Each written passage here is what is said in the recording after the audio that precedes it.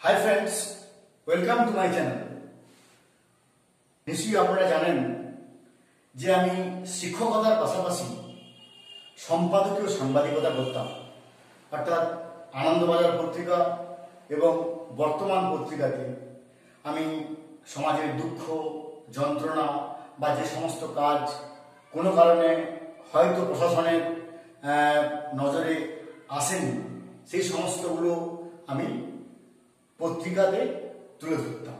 এবং তার মধ্যে বেশিরভাগটাই ছিল আনন্দবাজার পত্রিকা এবং বর্তমান পত্রিকা।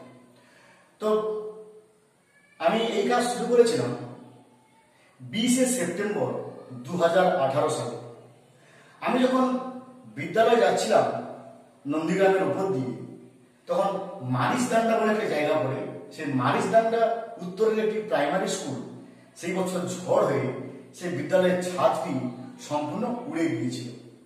তো সেই বিদ্যালয়ের প্রধান শিক্ষক মহাশয় অনেকবার গেছেন বিডিও অফিসে যে আমার এই সমস্যা, আমার ওই সমস্যা, আমার বিদ্যালয়ে আমি ক্লাস করতে পারিনি।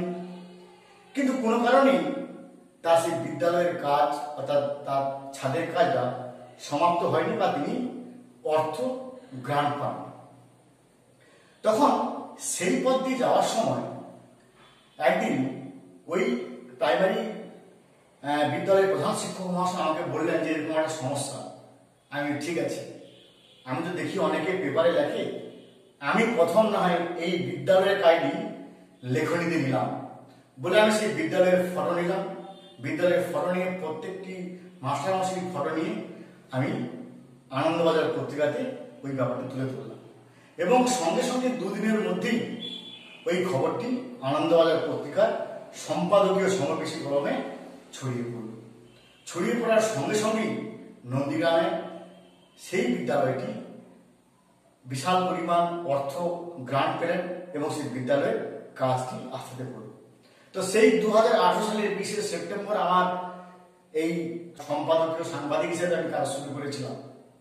আজ পাঁচই জুলাই দু একুশ সালে আমি আমার আনন্দবাজার পত্রিকাতে শত সংখ্যা পূর্ণ করেছি। এর আগে নিশ্চয়ই আপনারা জানেন যে আমি ফেসবুকে দিয়েছিলাম, বর্তমান পত্রিকা এবং আনন্দবাজার পত্রিকার সম্পাদক সাংবাদিক হিসেবে আমি শতসংখ্যা পূর্ণ করেছিলাম। কিন্তু আজকে, অর্থাৎ পাঁচই জুলাই দু হাজার একুশ, আজকে আমি শুধুমাত্র আনন্দবাজার পত্রিকাতে শতসংখ্যা পূর্ণ করলাম। এই নিয়ে অনেক কিছু আমাকে চড়াই, উতরাই বেরোতে হয়েছে। অনেকবার অনেক জায়গায় লেখা নিয়ে অনেক হুমকি এসেছে, অনেকে আমাকে বাধা দিয়েছে। অনেকে আমাকে জোর গলায় বলেছে, এই করে নেব, ওই করে নেব, কেন তুমি এইসব দেখছ, কেন তুমি প্রশাসনের ভুল তুলে ধরছো?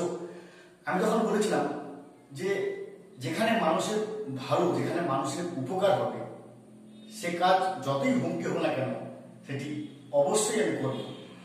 তো সমস্ত চড়াই, উতরাই, হুমকি ক্রস করে আজকে আনন্দবাজার পত্রিকাতে শত সংখ্যার সম্পাদকীয় সাংবাদিক হিসেবে আমি শত সংখ্যা পূর্ণ করলাম। তো এই খুশির খবরটি আপনাদের, অর্থাৎ আমার যারা ইউটিউবের অডিয়েন্স তো আপনাদের সবাইকে না দিয়ে পারলাম না। তো ভালো থাকুন।